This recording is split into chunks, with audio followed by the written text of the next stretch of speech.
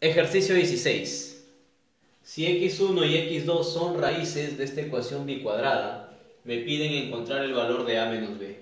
Para resolver este ejercicio, usaremos el concepto de raíz de una ecuación polinomial.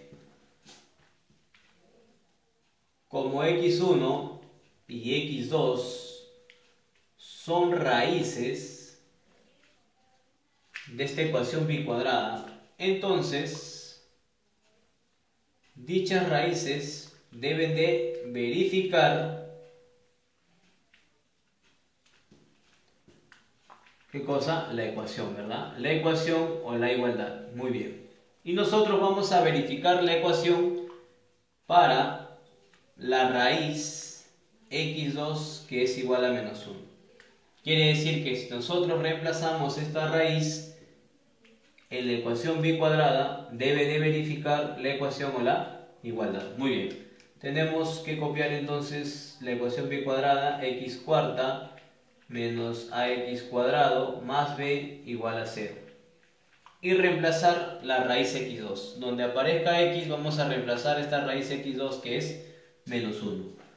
Por aquí aparece x, copiamos entonces menos 1 y este x está elevado a la cuarta menos a multiplicado por x, que vamos a copiar menos 1, que es la raíz y está elevado al cuadrado, ¿verdad? Más b igual a 0. Negativo elevado a exponente par positivo, 1 a la cuarta es 1. Menos a copiamos, multiplicado, negativo elevado a exponente par positivo, 1 al cuadrado es 1. Copiamos por aquí más b. Igual a 0 más 1 o simplemente 1. Menos por más, menos, a por 1a y copiamos más b igual a 0.